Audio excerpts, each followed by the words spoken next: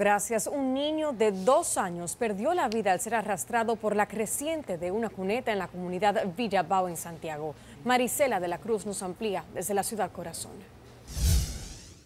Saludos, buenas tardes, muchísimas gracias. La comunidad de Villabao en el distrito municipal de Ato del Yaque aún no sale del asombro por la tragedia que ellos califican como un lamentable accidente. Explicaron que el niño de nombre José Luis Quesada aprovechó que la madre estaba en el baño y se salió de la casa, momento en que bajaba una fuerte creciente por la alcantarilla, producto de las fuertes lluvias caídas este martes.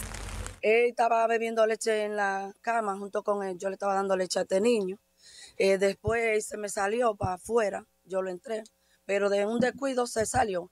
Yo lo estaba buscando como vivo, no lo estaba buscando en cañada ni nada, en la casa de aquí, de los vecinos. Fue de ahí que lo arrastró. Parece que se cayó y se dio un golpe y lo arrastró para abajo el agua. El menor fue arrastrado por las aguas y unos metros más adelante de la vivienda fue encontrado detenido por un árbol. Los allá en el palo, ahí enganchado, estaba ahí mismo, eran.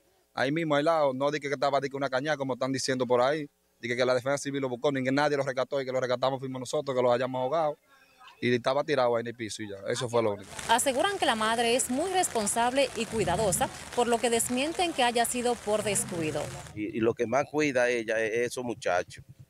Y yo de allá le aconsejaba que esos muchachos me lo dejaba salir. El que dice eso, eso es mucha mentira. Ella quería mucho a esos muchachos.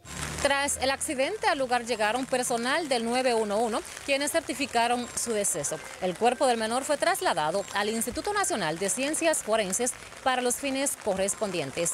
Es la información, retorno con ustedes.